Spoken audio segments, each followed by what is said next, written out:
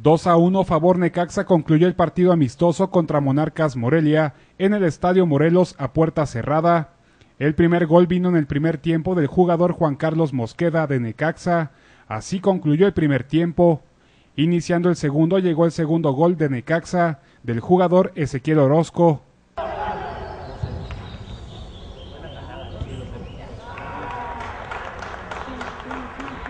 Hubo varias llegadas a la portería de ambos equipos, pero fue casi al término del encuentro cuando Luis Gabriel Rey anotó el gol de Monarcas Morelia.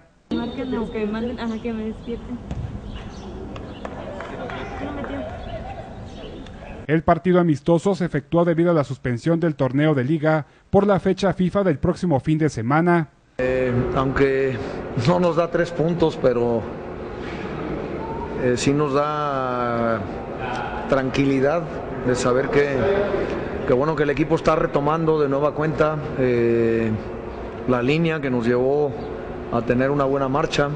En el partido estuvo el jugador Miguel Sabá, quien estuviera lesionado durante varias semanas. Con información de Brenda Barajas, informa Cuasar TV.